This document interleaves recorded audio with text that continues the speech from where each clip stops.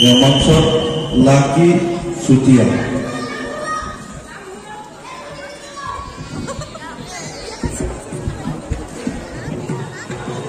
ক্ষমা কৰিব এতিয়া মঞ্চলৈ আমি আমন্ত্ৰণ জনাইছো দেৱজ্যোতি গগৈ নীলক তৰালী পথাৰ আৰু সাজু হৈ থাকিবৰ কাৰণে অনুৰোধ জনাইছো লাকি চুতীয়া ধেমাজি ইয়াৰ মঞ্চত দেৱজ্যোতি গগৈ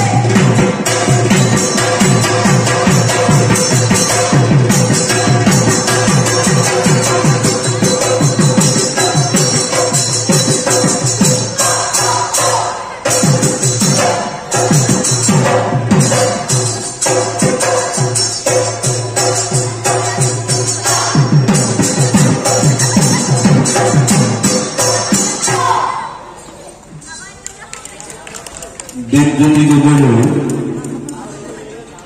ধন্যবাদ জনাই আমি। এতিয়া মঞ্চলৈ আমন্ত্ৰণ জনাইছো লাকি চুতীয়া ধেমাজি। আৰু সাজু হৈ থাকিবৰ কাৰণে অনুৰোধ জনাইছো দীপক চেতিয়া নীলক তৰালী পথাৰ এটি বিশেষ ঘোষণা ঢোল বাদন প্ৰতিযোগিতা শেষ হোৱাৰ লগে লগে আমি পেঁপা বাদন প্ৰতিযোগিতা অনুষ্ঠিত কৰিম সেয়েহে ইচ্ছুক পেঁপা বাদক প্ৰতিযোগীসকলক আমাৰ অস্থায়ী কাৰ্যালয়ত তেখেতসকলৰ নাম অন্তৰ্ভুক্ত কৰিবৰ কাৰণে অনুৰোধ জনাইছোঁ ঘোষণাটো পুনৰ কৰি দিছোঁ ঢোল বাদন প্ৰতিযোগিতা শেষ হোৱাৰ লগে লগে আমি পেপাবাদত প্ৰতিযোগিতা অনুষ্ঠিত কৰিম সেয়েহে প্ৰতিযোগীসকলক আমাৰ অস্থায়ী কাৰ্যালয়ত তেখেতসকলৰ নাম অন্তৰ্ভুক্ত কৰিবৰ কাৰণে অনুৰোধ জনাইছোঁ